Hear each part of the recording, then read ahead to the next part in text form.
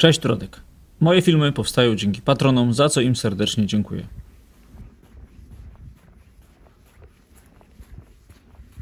Partnerem kanału jest grupa Flying Atom, oferująca możliwość kupna i sprzedaży kryptowalut w kantorach stacjonarnych i bitomatach na terenie całego kraju. Prowadzimy również sprzedaż złota inwestycyjnego. Zapraszamy. Dziś nietypowy film, w którym przedstawię wszystkie znaki drogowe typu A, czyli znaki ostrzegawcze.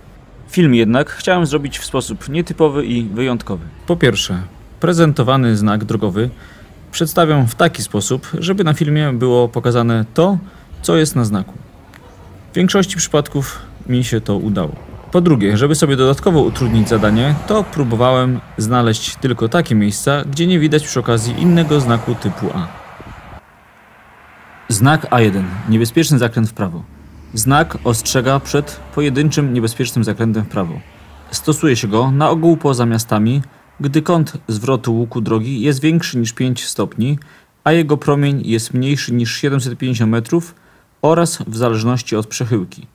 Ustawiany także na zakrętach o ograniczonej widoczności bądź gdzie dochodzi do częstych wypadków lub kolizji. Znak A2. Niebezpieczny zakręt w lewo. Znak stosuje się w celu oznakowania pojedynczo występującego łuku poziomego, na którym droga skręca w lewo. Stosuje się go analogicznie jak znak A1. Znak A3. Niebezpieczne zakręty pierwszy w prawo. Znak ostrzega przed niebezpiecznymi zakrętami, z których pierwszy jest w prawo. Stosuje się go na tych samych zasadach co znaki A1 i A2, gdy odległość od końca pierwszego zakrętu do początku kolejnego wymagającego oznakowania zakrętu, niezależnie od tego, w którym jest kierunku, jest mniejsza niż 300 metrów. Gdy liczba zakrętów jest większa niż 2, pod znakiem mogą być umieszczane tabliczki T2, tabliczka wskazująca długość odcinka drogi, na którym powtarza się lub występuje niebezpieczeństwo. Koniec tego odcinka wskazuje tabliczka T3.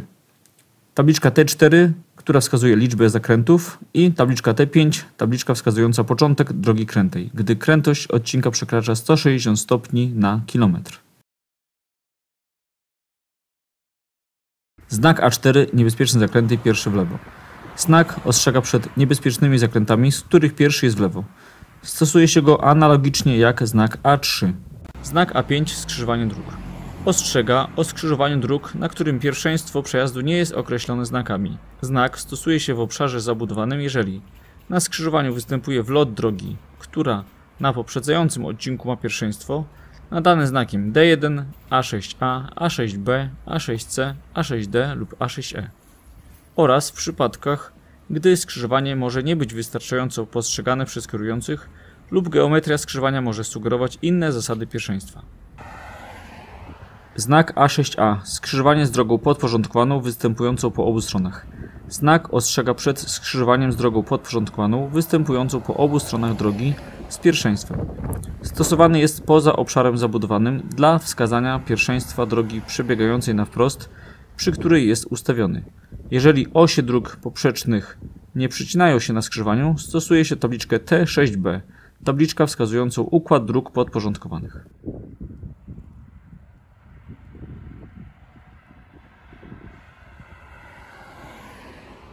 Znak A6B. Skrzyżowanie z drogą podporządkowaną występującą po prawej stronie.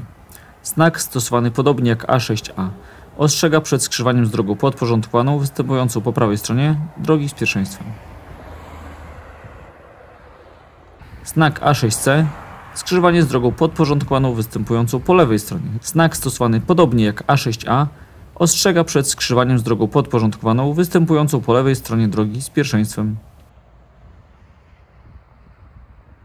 Znak A6D. Wlot drogi jednokierunkowej z prawej strony. Znak ostrzega przed skrzyżowaniem z podporządkowanym wlotem. Drogą kończącą się pasem włączenia z prawej strony.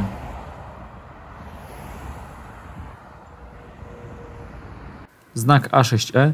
Wlot drogi jednokierunkowej z lewej strony. Znak ostrzega przed skrzyżowaniem z podporządkowanym wlotem. Drogą kończącą się pasem włączania z lewej strony. Tutaj dodam od Ciebie, że ten znak jest bardzo rzadko stosowany w Polsce i naprawdę zdobycie tego materiału prawie że graniczyło z cudem. Znak A7. Ustąp pierwszeństwa. Ostrzega o skrzyżowaniu z drogą z pierwszeństwem. Znak A7 znajdujący się w obrębie skrzyżowania dotyczy tylko najbliższej jezdni, przed którą został umieszczony.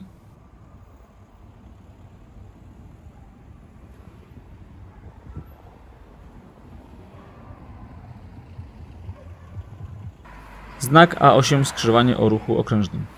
Ostrzega o skrzyżowaniu, na którym ruch odbywa się dookoła wyspy lub placu w kierunku wskazanym na znaku. Znak stosuje się głównie poza obszarami zabudowanymi, a na obszarach zabudowanych wtedy, gdy skrzyżowanie z ruchem okrężnym występuje na drodze oznakowanej wcześniej jako droga z pierwszeństwem i nie jest widoczne z dostatecznej odległości. Znak A9. Przejazd kolejowy z zaporami. Ostrzega o przejeździe kolejowym wyposażonym w zapory lub półzapory.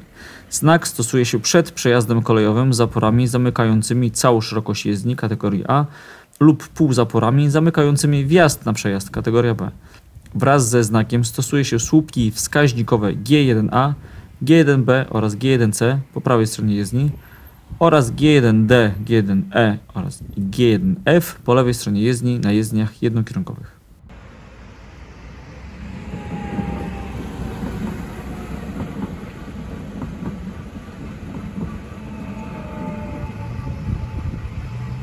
Znak A10. Przejazd kolejowy bez zapór. Ostrzega o przejeździe kolejowym niewyposażonym ani w zapory, ani w półzapory.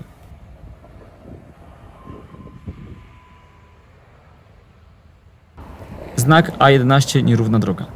Znak umieszcza się przed odcinkami jezdni o dużych nierównościach, które mogą być niebezpieczne dla ruchu lub obniżają komfort jazdy.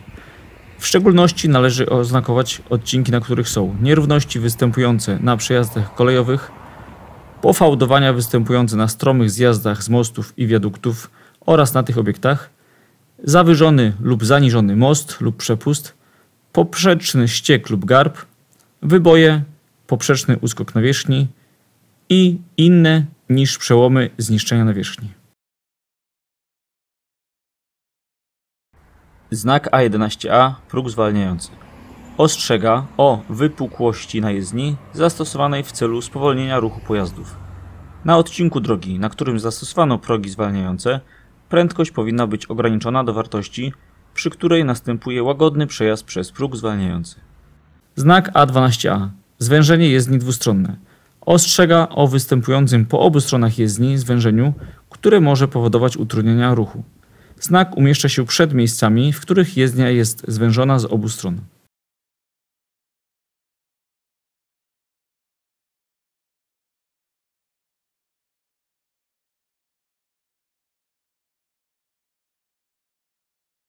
Znak A12B.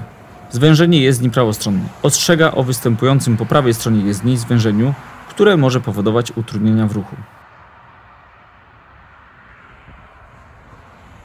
Znak A12C. Zwężenie jezdni lewostronne. Ostrzega o występującym po lewej stronie jezdni zwężeniu, które może powodować utrudnienia w ruchu.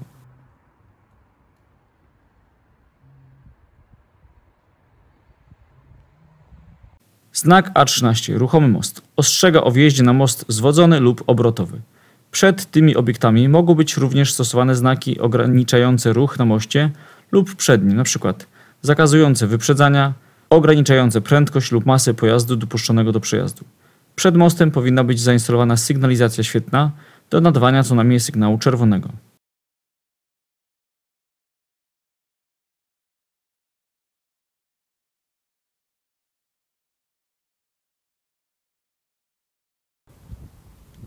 Znak A14 roboty drogowe. Ostrzega o prowadzonych na drodze robotach.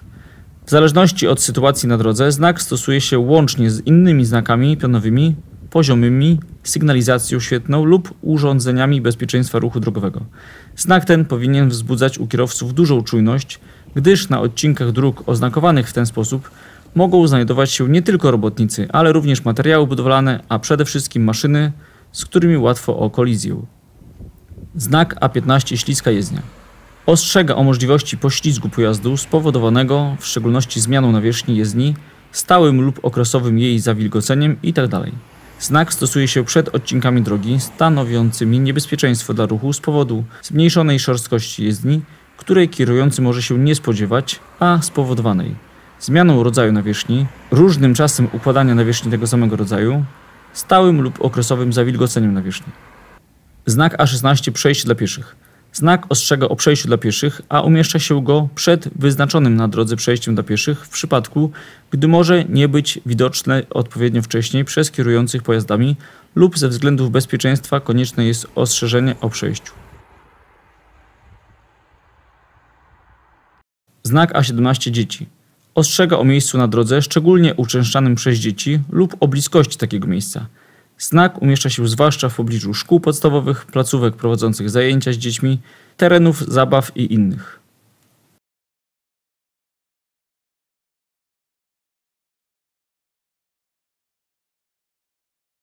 Znak A18A zwierzęta gospodarskie. Ostrzega o możliwości napotkania na drodze zwierząt gospodarskich. Znak ten stosuje się do oznaczenia miejsc, w których odbywa się regularny przepęd zwierząt gospodarskich wzdłuż lub poprzek drogi, np. przy ośrodkach hodowlanych, pastwiskach i tym podobne. Znak A18B zwierzęta dzikie. Ostrzega o możliwości napotkania na drodze zwierząt dzikich. Znak stosuje się do oznaczenia miejsc, w których zwierzęta dziko żyjące często przekraczają drogę, np. przy wjeździe do lasu o dużej ilości zwierzyny lub w miejscu przecięcia przez drogę dojścia do wodopoju. Miejsca takie można ustalić m.in. na podstawie informacji służby leśnej o szlakach wędrówek dzikich zwierząt. Znak A19 boczny wiatr. Ostrzega o miejscu, w którym mogą występować silne boczne podmuchy wiatru, np. przed wyjazdem z gęstego lasu, z głębokiego wykopu, z obszaru o zwartej zabudowie na otwarty teren oraz przed wjazdem na mosty w dolinach o silnych ciągach powietrza. Przy drogach, na których zdarzają się gwałtowne podmuchy wiatru, poza znakiem A19 Ustawiany jest też czasem sygnalizator wiatru. Sygnalizator wiatru ma za zadanie wskazywać kierunek, w którym wieje wiatr oraz jego siłę. Znak A20 odcinek jezdni o ruchu dwukierunkowym. Ostrzega jadących jezdnią jednokierunkową o miejscu, w którym rozpoczyna się ruch dwukierunkowy. Znak stosuje się, gdy dwie jezdnie jednokierunkowe łączą się w jedną jezdnię dwukierunkową oraz przy wprowadzeniu ruchu w przeciwnym kierunku na jezdnię mającą dotychczas ruch jednokierunkowy.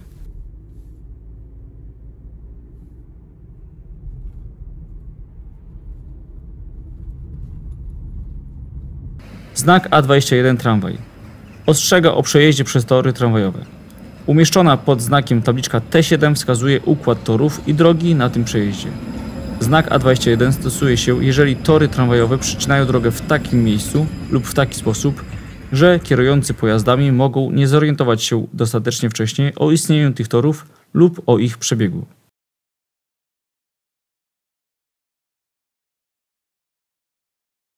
Znak A22 niebezpieczny zjazd. Ostrzega o znacznym spadku podłużnym drogi. Umieszczona pod znakiem tabliczka T9 wskazuje rzeczywistą wielkość spadku, np. wartość 8% oznacza, że droga na długości 100 metrów opada o 8 metrów. Znak ten umieszcza się przed spadkami podłużnymi drogi, wynoszącymi na drogach położonych w terenie górzystym co najmniej 10%, a na pozostałych drogach co najmniej 7%. Znak A23 stromy podjazd ostrzega o znacznym wzniesieniu drogi. Umieszczona pod znakiem tabliczka T9 wskazuje rzeczywistą wielkość wzniesienia, np. wartość 10% oznacza, że droga na długości 100 metrów wznosi się o 10 metrów. Znak ten stosuje się przed podjazdami o wzniesieniu co najmniej 8% na drogach położonych w terenie górzystym i co najmniej 6% na pozostałych.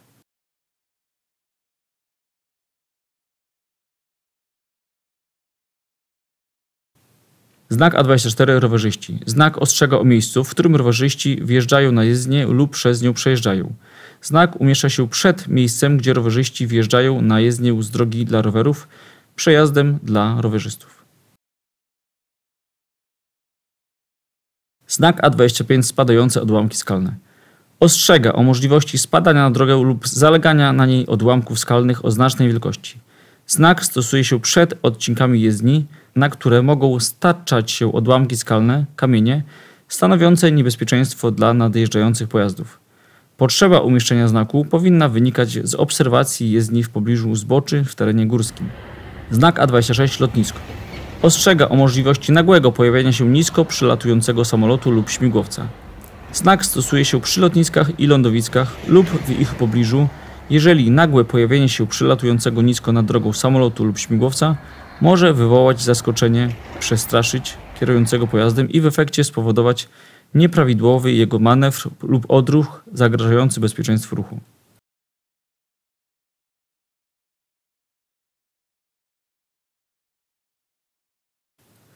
Znak A27 nabrzeże lub brzeg rzeki. Ostrzega o odcinku drogi prowadzącym bezpośrednio do nabrzeża lub wzdłuż brzegu rzeki lub innego zbiornika wodnego. Znak stosuje się przed odcinkami dróg ogólnodostępnych, przebiegających po nabrzeżu lub po wysokim brzegu rzeki lub kanału, gdy odległość ich brzegu od krawędzi jezdni jest mniejsza od 10 metrów.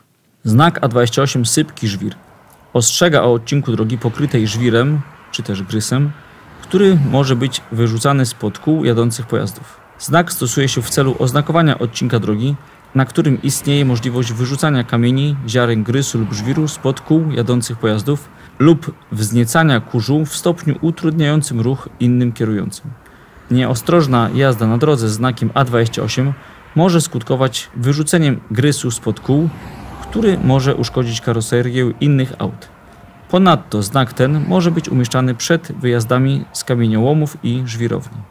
Znak A29 sygnały świetne. Ostrzega o miejscu, w którym ruch jest kierowany za pomocą sygnalizacji świetnej. Znak stosuje się w przypadku, gdy ruch kierowany jest za pomocą sygnalizacji świetnej w miejscu, w którym kierujący może się tego nie spodziewać. Znak umieszcza się przed każdą sygnalizacją świetną zastosowaną na drodze poza obszarem zabudowanym. Znak A30 inne niebezpieczeństwo. Ostrzega o zbliżaniu się do innego niebezpieczeństwa nieokreślonego innymi znakami drogowymi. Pod znakiem powinny być umieszczone odpowiednie tabliczki dodatkowe precyzujące niebezpieczeństwa za pomocą napisu lub symbolu. Znak A31 niebezpieczne pobocze. Ostrzega o niebezpiecznym poboczu, miękkim lub obniżonym. Znak umieszcza się przed odcinkami dróg o wąskim, miękkim, zbyt wysokim lub obniżonym poboczu.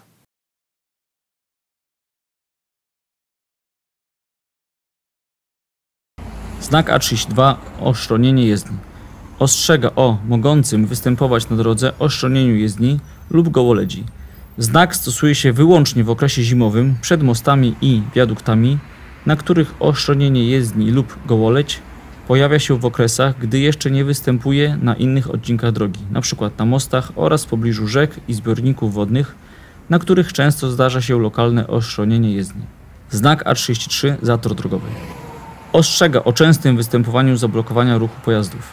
Znak stosuje się przed odcinkami dróg, na których ze względu na natężenie ruchu pojazdów często występuje blokowanie ruchu, a stojące pojazdy mogą nie być w porę dostrzeżone przez kierujących nadjeżdżającymi pojazdami.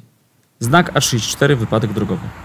Ostrzega o miejscu, w którym na skutek wypadku drogowego nastąpiło zablokowanie drogi lub znaczne utrudnienie ruchu pojazdów. Znak ten stosowany jest w celu ostrzeżenia o miejscu wypadku drogowego, w którym ze względu na osoby udzielające pomocy lub usuwające skutki wypadku oraz możliwości zablokowania ruchu, kierujący jest obowiązany zachować szczególną ostrożność.